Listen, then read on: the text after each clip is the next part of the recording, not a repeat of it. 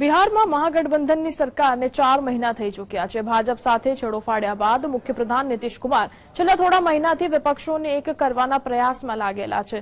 નીતિશકુમાર નયા મુખ્યપ્રધાન તેજસ્વી યાદવને બિહારમાં મહાગઠબંધનના ભવિષ્યના નેતા કહી ચૂક્યા છે. તો જેડીયુના નેતા નીતિશ કુમારે પીએમ મટીરીયલ કહી ચૂક્યા છે, ત્યારે નીતિશ તેજસ્વીની જોડી આગામી સમયમાં શું ભાજપને બિહારમાં પછાડી શકશે એવા સવાલો થઈ રહ્યા છે. નીતિશ અને તેજસ્વીની જોડીને જોતા બિહારમાં બે હજાર ચોવીસની લોકસભાની ચૂંટણી અને બે હજાર પચીસમાં થનારી વિધાનસભાની ચૂંટણી આ બંને નેતાઓની સાથે જ ભાજપ માટે બહુ મહત્વની બની રહેવાની છે. ભાજપ સાથે નીતિશે ગઠબંધન તોડ્યું હતું. નીતિશ અને ભાજપ વચ્ચેનો ખટરાગ બે હજાર વીસની વિધાનસભાની ચૂંટણીથી ચાલુ થયો હતો. જ્યારે નીતિશે તેમના પક્ષને નુકસાન પહોંચાડવા માટે ભાજપે ચિરાગ પાસવાનનો ઉપયોગ કર્યો હોવાનો આરોપ કર્યો હતો.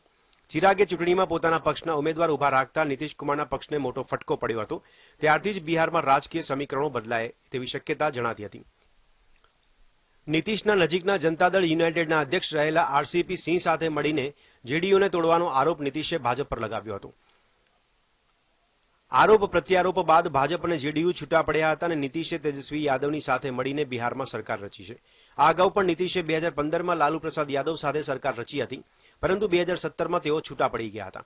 બાદમાં નીતિશ ભાજપ સાથે જોડાયા હતા, પરંતુ બે હજાર સત્તરમાં ભાજપ સાથે જોડાવવું અને એ અગાઉ બે હજાર તેરમાં ભાજપ સાથે જોડાયા હતા, તેમાં અને અત્યારમાં ઘણો ફરક હોવાનું નીતિશને સમજાઈ ગયું હતું. ભાજપ સાથે છૂટા પડ્યા બાદ તેજસ્વીની યાદવની સાથે તેઓ બિહારમાં સરકાર ચલાવી રહ્યા છે. આ બંને પક્ષોમાં જોડાણ બાદ પણ અમુક મુદ્દા પર મતભેદ છે. છતાં બંનેનો ઉદ્દેશ્ય બિહારમાં ભાજપને દૂર રાખવાનો છે. તેથી આ જોડાણ કેટલા દિવસ ચાલે છે તેના પર સૌ કોઈની નજર છે. Bureau report, GST.